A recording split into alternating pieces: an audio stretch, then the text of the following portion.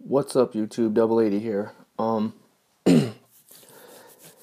this is my custom DC Universe Classic Kyle Rayner. Um, just kind of wanted to know what you guys thought about it. I mean, I kind of just did started doing customizing.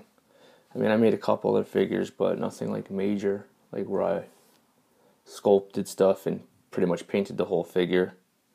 You know. So I just wanted to know what you guys thought about it. I'm thinking about putting it on eBay, see if I can make some money this way. Yeah.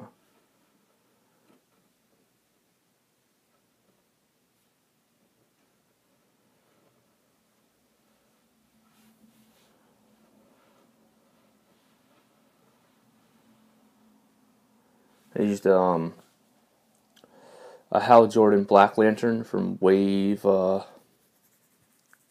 Think it's Wave 18, I believe. I'm not sure. Forgot. I entirely sculpted the mask.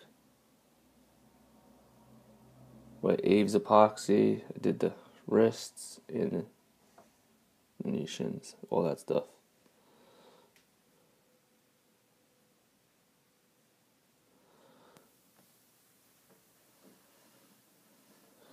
The only thing was I lost articulation in the wrist. I mean, I probably could have kept it, but it was I don't know. It's kind of hard to make the glove and try to keep that. I don't know. It's only downfall.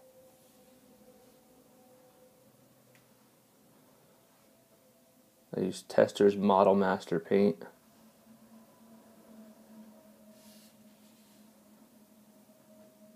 Acrylic paint. And I sealed it up with some kind of clear sealer. I don't know the name. But yeah, let me know what you think.